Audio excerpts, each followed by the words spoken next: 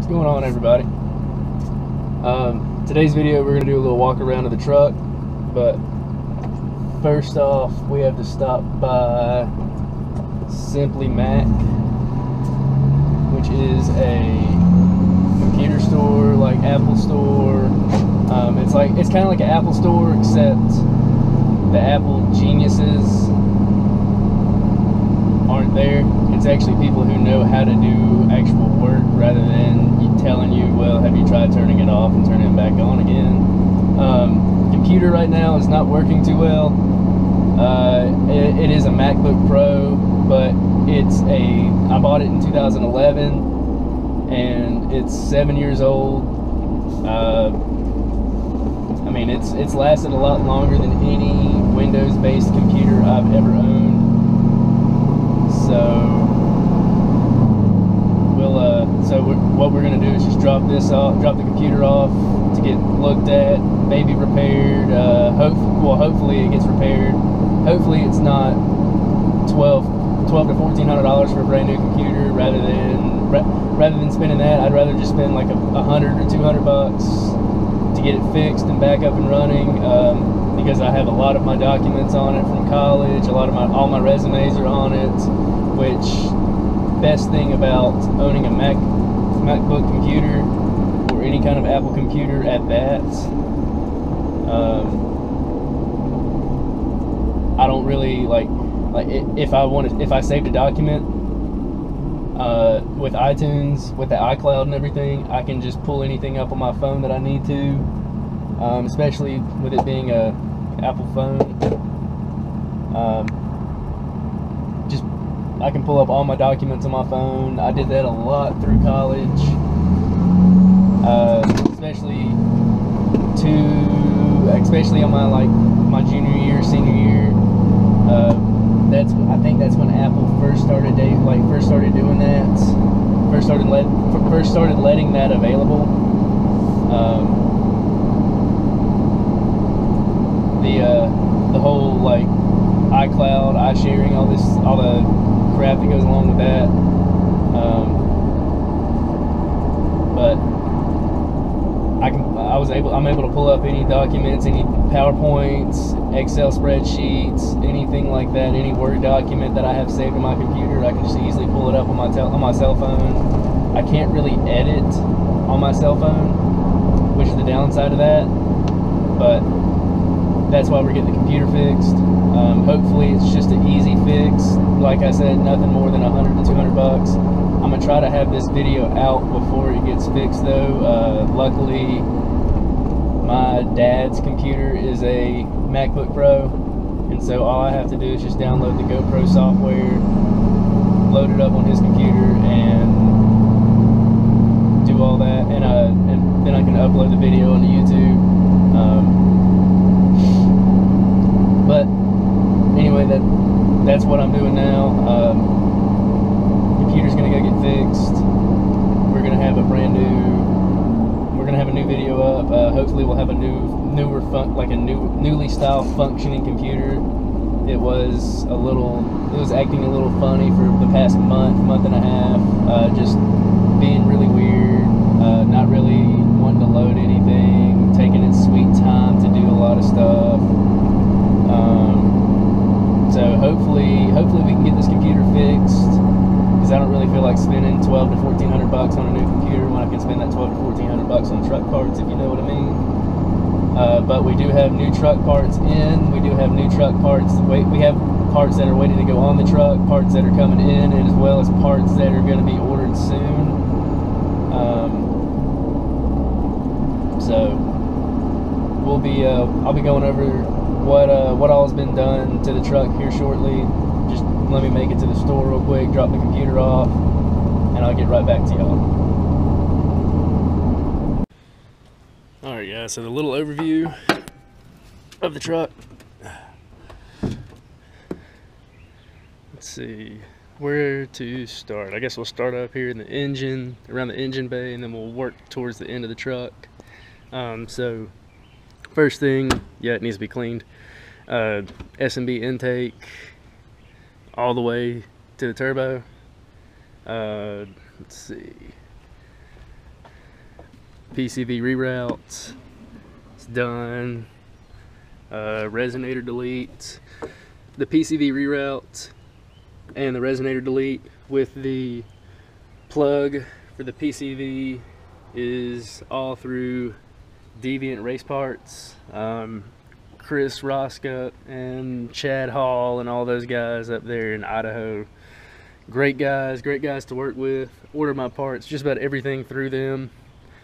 Um, let's see. Another thing, anything else up here? Oh yeah. Uh, let's see. So obviously you can't see it because you have to remove the AC compressor, but I've got the PPE ported rail fitting as well as on down here on the driver's side fuel rail. I've got the Deviant Race products um, race race valve uh, the plug the yeah. Um, that's see I think that's about it underneath the hood all I've done I haven't really done a whole lot of stuff under the hood yet um, truck runs AMSOIL, AMSOIL OE synthetic, uh, changed every 5,000. Um, so that's the engine, all, all my fluids are AMSOIL fluids, engine oil, transmission fluid. Um, we've got, sorry, it's if you can't tell, it's raining a little bit. Um, which is fine because it's gonna be, it's finally warming up down here. Um, which I know to a lot of the a lot of you guys up north, to a lot of you guys up north, uh, it's 70 degrees, and I'm in pants and a t-shirt. But when you live in South Georgia and you're from the South, 70 degrees can be kind of cool. Uh, we had a little chill, like a little cool weekend. It what didn't get out of the 60s really, uh, but that's that's for us Southerners. It's a little cool. Uh, oh uh, did a video on this a while ago. Headlight housings, top and bottom. Um, headlights, actually, I'll turn them on real quick and show you.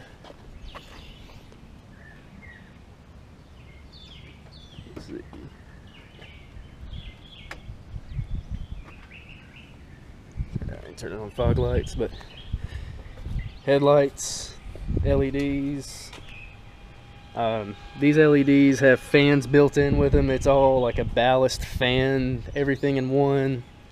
Um, LED low beams, regular halogen high beams.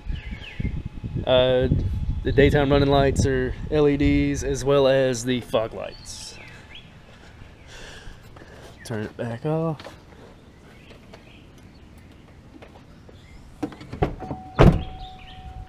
Uh, let's see. Um, blacked out emblem. And that's about it up here. Move down, down around the driver's side. We've got our FASS 150. Um, for the FASS, I prefer to run. I prefer I prefer running a FASS filters on the FASS. Uh, you can I've ran Wix filters cat filters, Baldwin filters, Donaldson filters. Um, they all do good. They're all, I mean, they're basically, you're, you're, the basic thing about your filter is you want to look at your micron filtration. Um, FASS has some really good filters. I like theirs, and they're actually really cheap. Um, I get them from a friend up in, uh, get them from a friend up in, uh, up in, up near Atlanta at Summit Racing. So Sorry about that. Girlfriend called. Um, yeah, I run FASS filters. I get them. I can get them pretty cheap from through Summit up in uh up near Atlanta. I got a friend up there who can hook who hooks me up with them. Um, and so that's the that's the only thing on the driver's side. Passenger side wise, I mean you got the exhaust, which we'll come down here and look at real quick. Uh, exhaust is a complete straight pipe, four inches. It's a Diamond Eye system I've had for whew, going on five years now. Into decided I wanted to change it up, so I ran into an axle dump. Um, I like it. It's nice. Uh, I want to get rid of the. I want to. I do want to get rid of this soon one day and change it up to a five inch system. I might still stick with the axle dump. Um, definitely not going to be running a uh, stack on this truck. This truck is this truck gets a lot of highway gets gets driven around a lot, um, and I just feel like a stack would not really fit its purpose.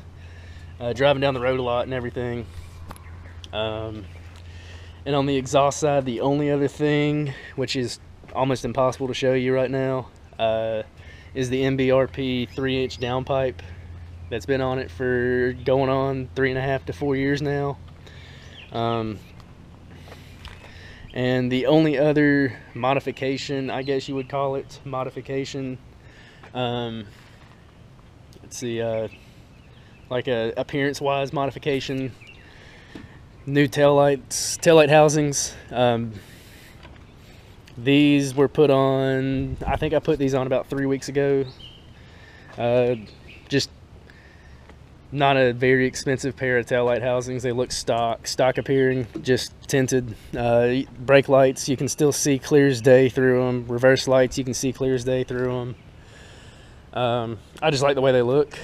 They're going along with the theme that I want with this truck, which is to get rid of chrome, all this chrome bumpers. Uh, new wheels will be coming. Will be coming on the truck soon. Um, parts coming on the truck.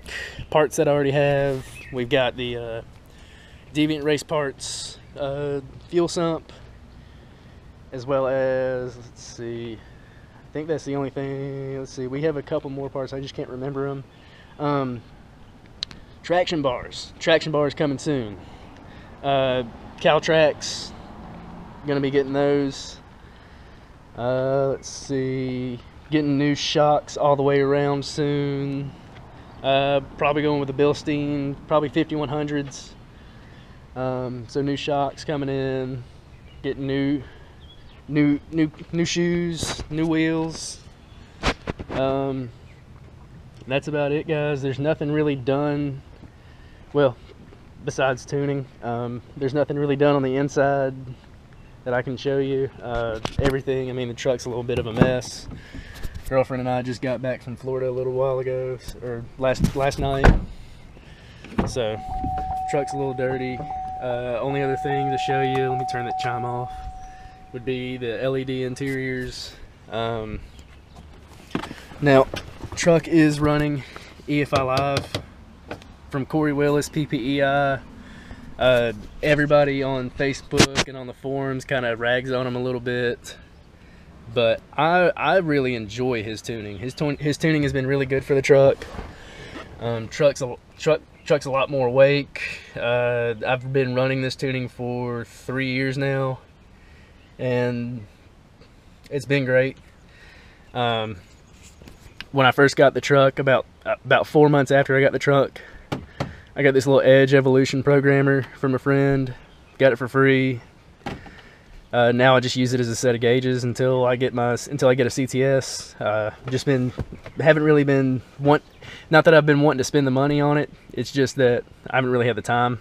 I've been working six days a week. Um, but yeah, guys. Other than that, that's the overview of the truck. Uh, if you enjoyed this video, please give it a thumbs up. If you have any questions about my truck or anything I may have forgotten to go over, leave a comment and I'll get back to you. Um, I usually try to reply within a day or so.